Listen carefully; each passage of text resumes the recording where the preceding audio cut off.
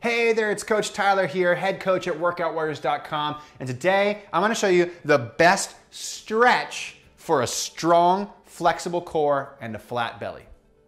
Okay, the stretch I'm talking about is called the side bend. And it's one of the best drills that you can do on an everyday basis. And you should certainly put it into your workouts as a part of a warm up routine or to strengthen and tone the sides of your body. Because this stretch is really gonna work your external and internal obliques, which is kind of like those muffin top region of your body that you wanna exercise, okay? So I'm gonna walk you through a beginner, an intermediate, and an advanced version of the side bend. Also, make sure you stick around to the very end of this video because I'm gonna show you how you can learn the best and worst core exercises for you based on your current posture and body shape in just a sec. So first let's talk about the side bend, okay? So side bend, the first variation of the side bend is really simple. I call it the simple side bend. You put your hands right on top of your hips right here, and then you go tall to the top of your head, your feet are slightly outside of hip width, and all you're gonna do is lean from side to side. Now, some things here is when people do side bends, sometimes they aim for the ground. Like, so they aim for the ground with their shoulder like this.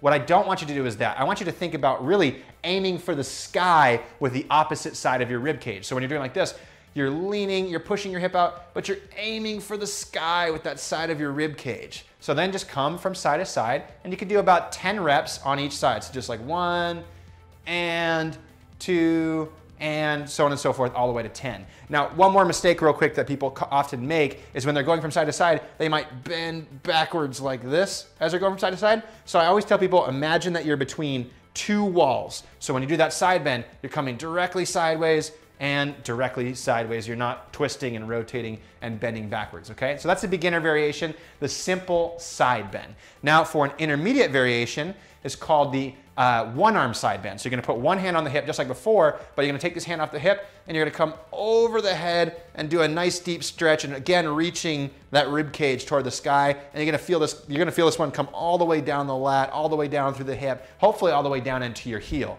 And so then you're just gonna come from side to side like this, putting that hand on the hip right here. And if you wanna make it slightly more advanced, you can take the hand and just put it behind your back so you're not, you're not supported on that hand. So hand goes behind the back. That's gonna involve a little bit more strengthening your obliques while you stretch them at the same time. It's also gonna prepare you for the advanced variation, which is really simple. You just take your hands, interlock them, put them all the way overhead this time, and then you're just gonna come from side to side with your arms straight and your fingers interclasped like that. So there it is, a simple stretch that you can do every single day. I would just do 10 reps at a time. You can do it multiple times a day if you want. It's gonna help strengthen, stretch, and tone your, your upper back muscles, all the muscles of your spine, and it's gonna help you strengthen your obliques, which will help you slim your waistline all at the same time. Now, if you really want to learn the best exercises for you based on your individual body type, then click the link that says take the free core type quiz. In this quiz, we're gonna ask you your age, your gender, your goal, your innate body shape, and your posture, and tell you the best and worst core exercises for you based on your answers. Plus, it's free, so why not take it, right? Also, if you like this video and you want to share it with a friend, please do. I always appreciate when people help me spread my message of teaching people how to exercise from the comfort of your own home by just using your body weight. So if you want to share this with a friend, I greatly appreciate it. Otherwise, like the video, leave a comment below, let me know what you thought of this exercise, and I'll also see you in the next video.